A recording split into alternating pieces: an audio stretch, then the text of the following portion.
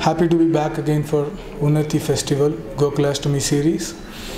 Uh, the, the, this year was also very memorable for me, and I should thank uh, Ramesh Swami uncle and uh, Valli auntie, and uh, especially I should thank my uh, Mridangam artist, co-artist Sri R. Shankar Narayanan for helping me a lot in today's travel because today was a very eventful day. Um, and despite all odds, I really enjoyed performing here today and I hope to see all of you again and again. Thank you.